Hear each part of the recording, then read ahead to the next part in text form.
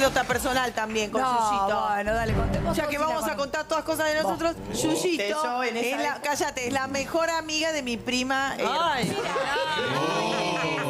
Cada vez más personal. Esta es la mejor amiga. Y Yuyito, cuando yo era muy chica, ella venía a tomar sola a mi casa. Mira. Hola Edith, hermosa, ¿cómo estás? Hola, Amalia, Hola. Buenas. Bienvenida. ¿Dónde estás ahora? ¿Dónde Estoy en la radio. Ah, estás en la radio. ¿En No dónde? ¿En la, puedo. en la Disney? En Disney, claro. Estoy en, un, en, un- en una tanda con un par de canciones que tengo ahí 10 minutitos de tiempo para charlar con ustedes. Escúchame, vas así despintada, todo sin luquearte, nada a la radio. Estoy reluqueada yo. ¿Estás luqueada? A verte. Mira, mírame. Para mí, o sea, en realidad yo estoy reluqueada. Ah, Por más que los maquilleros de la moda digan que no, El eh, otro- yo me releo. El no otro- me maquillo, es verdad. El Estoy otro cara maquillás. lavada, pero a mí me No te cara no te lavada. maquillás. El otro día, Edith, me mandaron, yo tuve una sección que se llama La No Noticia, y me mandaron una foto Sí. viendo a tu hija, creo que juega al hockey. Sí, ¿La viste? ¿Te llegó? Porque, me ¿Por llegó qué? ¿Qué tenía la foto? porque estaba, no, porque ella estaba re, re chill, relajada y tenía, o sea, es lo que cualquiera hubiese hecho. Era justo ¿Qué? un día que hizo mucho calor y ya estaba en yoguineta y se la remangó toda. Ah, y estaba con sí. otra mamá hablando. Escúchame. Sí, sí, me sacaron una foto ahí en el club. Sí, así, así, natural como es ella. Escúchame, contanos esto del tiempo que iba a tu casa eh, eh, a, a tomar sol. Contanos de tu familia, mamá, papá. Contá de nuestra, nuestra prima, no, tu prima.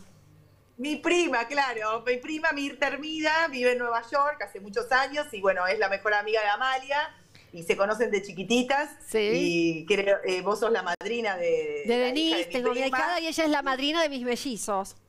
Claro, y ella es madrina también de tus mellizos y más allá de la distancia, siempre yo sé que están unidas, ella te quiere Sí. mucho. Ahora vos, viene, ahora viene de a Buenos. Aires. Ahora viene. Ahora, viene casa. ahora viene, en pocos días viene a Buenos Aires, así que ella te quiere mucho, así que yo también te quiero mucho a través de ella. Y cuando Sí. eran muy jovencitas las dos, vos eras una bomba, eh, y, ¿Qué pero estás queriendo decir? ¿Que tu bomba. prima no? No, sí, Es que sí. era sí. muy flaquita mi prima, era Sí. divina mi prima, pero venían las dos a mi casa, ella la acompañaba y venían a tomar sol a la terraza y todos los vecinos, Amalia todavía no era famosa, No, nada que pero todos ver. los vecinos, a- pero claro, vos eras muy llamativa y Sí, todo el mundo era muy era muy y lo seguís también. siendo, perdón, lo sigue siendo porque entra siendo, Yuyito y es una bomba. Claro. No, pero era muy consciente, tenés razón. Era, era como que, no sé, no, no, tenía- no tomaba conciencia ni del cuerpo, ni del físico, ni lo que no me ponía de ropa. Escúchame, Edith, ¿y cuándo vos empezás a querer estar en, la- en los medios? No sé, ¿cómo fue? Porque yo me la- esa parte me la perdí. Un buen día, la prima de mi íntima amiga era famosa. ¿Cómo fue?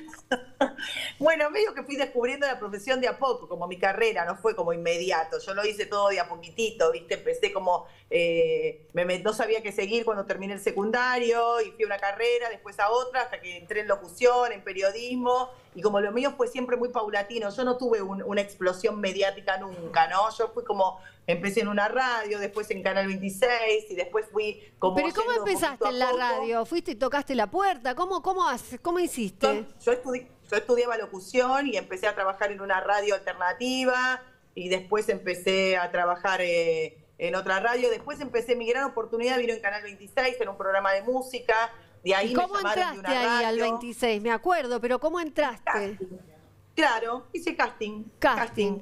¿Ves? un Escuchen, escuchen, y- como dicen en Bendita. ¿Ves? Así casting. Hagan casting. Escuchen, claro. Hice casting y no sábana, hice casting y como No, todo. no, sábana casting, no, nunca, por Dios. No, nunca, nunca. No. Y hice casting, entré, en algunos entré, en algunos me fue bien, en otros me fue mal, eh, pero siempre seguí intentando y fue como todo muy paulatino, ¿no? Muy paulatino, fui de un, de una- de un trabajo a otro, nunca me quedé con un solo trabajo, siempre fui, a- a- y así fui como intentando, intentando, intentando hasta que, eh, bueno, entré en la 100, después en la 100 entré a Disney, me quedé acá hace 23 años.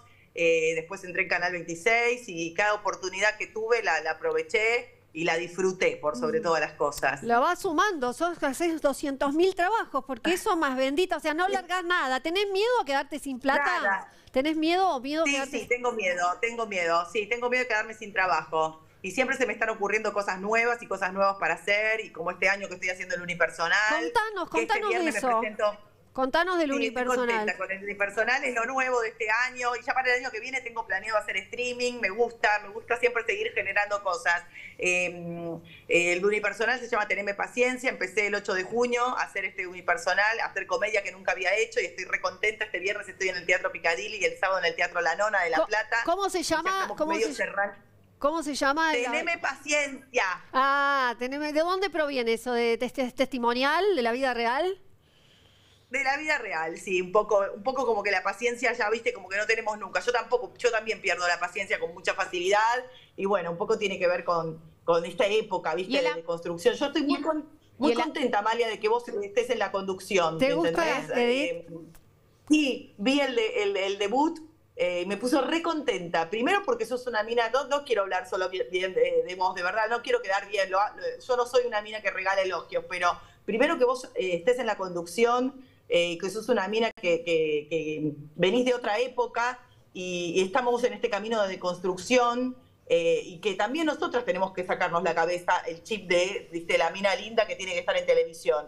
Eh, me encanta. Me cuando vi la apertura de tu programa, Amalia, me puso muy contenta. Sí, Eh, sí, sé que lo decís de todo que también corazón. vos misma te- Claro, te lo digo de corazón, de verdad, que vos misma, yo creo que también, viste, estábamos en, en otro rol antes las mujeres, estamos en otra época, Sí. eh, y nosotras mismas también tenemos que cambiarnos ese chip. Total, y cuando yo te vi, reinventarse. eh, Reinventarse, reinventarte. siempre. Qué, bueno, qué, qué bueno, qué bueno lo de lo de Amalia, porque eh, qué bueno esta, esta oportunidad que te dio, creo que Coco Fernández, que vos lo, se lo Coco Fernández y, Esteban. Farfán, mis productores. Besos a mis productores Sí, que son bueno. divinos aparte. Qué bueno que hayan pensado en una, en una mina como Amalia, que eh, es una mina que hace muchos años que trabaja en los medios y que quizás nunca se viste, qué sé yo, a veces pensás que, que crecer está mal y a todo el mundo le pasa el tiempo. No sé, me encanta mucho esta época que estamos pasando. Eh, y tenía ganas de contar eso, ¿no? De, de- el rol que tenemos las mujeres, esta- este camino de deconstrucción que, que venimos haciendo todos, los que venimos de otra época. Eh, me Y yo acá mucho, trabajando con estos,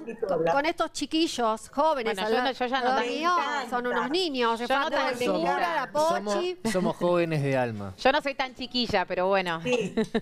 Parezco más chiquilla. sí, no, me gusta. Me gusta también este intercambio de, de generacional, ¿no? Eh, Me encanta la gente joven. Yo, bueno, sigo a tu hija también, a Brenda. A Brenda, y a Brendita. El novio de ella. No, Me y Paloma, tu hija está en producción. ¿no? Estaba en producción, Ma- Paloma. Paloma también. Yo estoy recopada con los jóvenes, te digo, con esta generación de Centennial, me gusta, me gusta que nos juntemos todos, que nos respetemos. Juntémonos, juntémonos Sí, re, todos. sí, aparte es un placer trabajar con. La verdad que yo no la conocía, Yu- bueno, no la conocía porque hace un año que estoy en la tele, claramente, pero es un placer trabajar con ella. eh, es re buena mm, compañera, viste, te da lugar. eh, me gusta, Sí. la gente me pregunta, me pregunta mucho la gente por vos, Yuyito. ¿Cómo sos? ¿Cómo te veo? ¿Te Y yo digo, sí, digo, me parece muy inteligente, porque ella es inteligente, se ríe, pero te la manda, se banca, se banca la que viene, sabe jugar el juego. Mame, me gusta mucho. Y a mí más que preguntarme me afirman que te ven muy bien en la conducción. Ah, ¿sí? Sí. ¿Quién dice? ¿Tu papá? Si lo dice mi tu papá, mi mamá, ah, mi suegra, la abuela Irma, mi jer, todos muy Mirá, bien. qué divina. Son gente venir- que no le regala elogios, Elogios, a Como, nadie. ¿no? Como Edith. No, y vas a seguir creciendo. Vas a seguir- o sea, aparte, lo que a veces hay que analizar es el potencial que tienen, ¿me entendés? Entonces, está bueno ver el potencial. Me parece que vas a seguir, en cuanto te asientes un poco más, vas a seguir creciendo. Por eso está bueno que yo me puse re contenta, te lo digo de verdad. Gracias, gracias. Bueno, ahora cuando venga tu prima nos vamos a juntar todos otra vez. Nos, vamos allá. juntamos. ¿Vas a ir a tomar sol? A ver, acá ¿Vas a ir a tomar sol de nuevo al vamos patio? a ir a tomar sol a la casa de A la Edith, a la, casa, a la casa de, de con un shortcito chiquitito y Ah. unas así gigantes y todo el barrio salía a mirar a la amiga de mi prima. Eh. Y yo me sentía un- chiquitita al lado de No, ella porque era claro, lo que es Amalia, alta, era chiquita No, no, es una bomba. Una bomba. ¿Qué decías, Yo- Pochi? No, yo sabes lo que le quería preguntar a Edith. ¿Cómo está el corazón, Edith? ¿Está acompañado? Eh, ¿En qué momento No, estás? no, está sola. Estoy sola. ¿Por Estoy qué? sola y contenta. ¿Estás esperando, ¿Estás esperando un romance con Beto en algún Epa. momento? Ah. amor? No, no estoy esperando nada. Estoy disfrutando de mi soltería eh, en este momento de mi vida, porque aparte u- eh, iniciar una pareja te hace tener, un- tenés que tener como eh, Energía. tiempo. Y yo no tengo tiempo. Tengo tiempo para mí, nada más y para, para, o sea, imagínate que yo lo- con el unipersonal me estoy yendo todos los fines de semana y, y le- y necesito eh, tiempo para, para todos estos proyectos que tengo. Sí, y no tengo dentro- tiempo para y- una.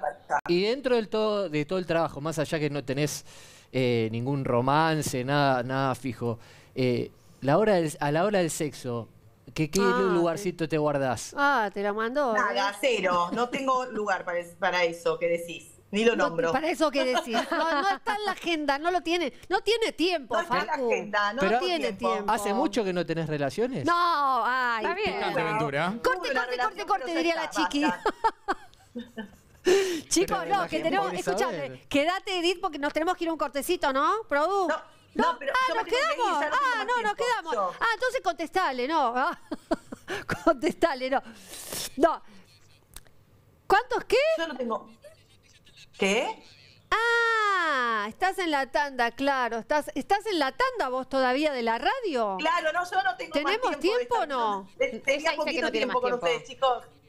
Tengo que volver al aire. Claro. No, escúchame, no, porque te queremos compartir una cosita que dijo Ani Ventura de vos. Tenés un poquito ayer, dijo dijo Ani? que y bueno, va, va, Peptey, por favor.